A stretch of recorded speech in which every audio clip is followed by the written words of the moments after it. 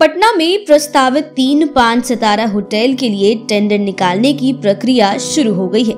Lease और tender की शर्तों के निर्धारण के लिए मुख्य सचिव की अध्यक्षता वाली पाँच सदस्यीय समिति फैसला लेगी।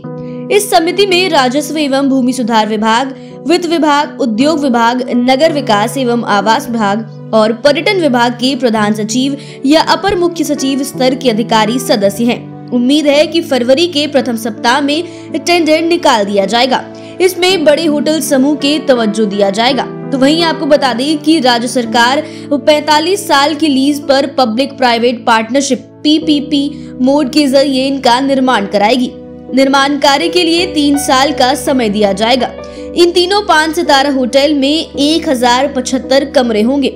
राज्य में आने वाले देशी विदेशी पर्यटकों की बढ़ती संख्या को देखते हुए पाँच सितारा होटल निर्माण करवाने का निर्णय लिया है।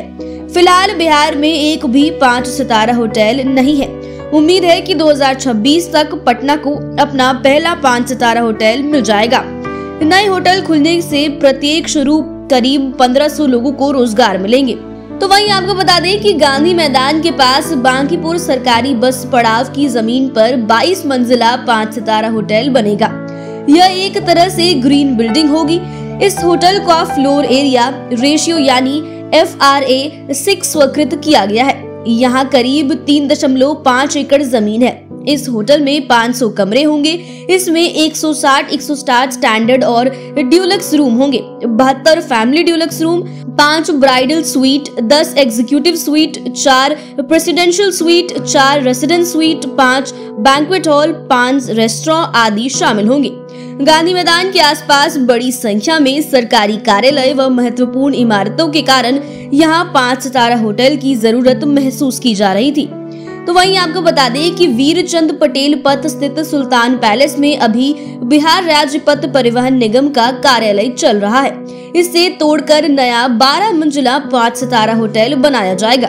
इस परिसर में करीब चार दशमलव आठ एकड़ ज़मीन पर बनने वाले होटल में करीब 400 कमरे होंगे। इनमें 300 double bedroom 40 single bedroom 20 VIP suite चार प्रेसिडेंशियल स्वीट दो कॉन्फ्रेंस हॉल बैंकेट व रेस्टोरेंट आदि का निर्माण किया जाएगा। सुल्तान पैलेस का निर्माण 1926 से 28 के बीच किया गया था। भूकंप या खराब मौसम के कारण इसके धरशाही होने की आशंका के कारण नया निर्माण किए जाने की योजना बनाई गई है। तो वहीं आपको बता दें कि आयकर गुलंबर के पास बने होटल पाटलिपुत्र अशोक को तोड़कर वहाँ 12 मंजिला नया पाँच सितारा होटल बनाया जाएगा। इस पुराने होटल का निर्माण उन्नीस सौ छिहत्तर में किया गया था। पहले ये होटल पर्यटन मंत्रालय के अधीन था। जिसे कुछ वर्ष पूर्व राज्य सरकार ने अपने नियंत्रण में ले लिया है। करीब डेढ़ एकड़ क्षेत्र में बनने वाले नए पाँच सितारा होटल में 175 कमरे होंगे। इनमें 15 से 20 सिंगल बेडरूम 140 से 160 डबल बेडरूम 15 वीआईपी स्वीट चार प्रेसिडेंशियल स्वीट के साथ कॉन्फ्रेंस हॉल एग्जीबिशन सब business centre fine dine restaurant spa आदि की सुविधा होगी।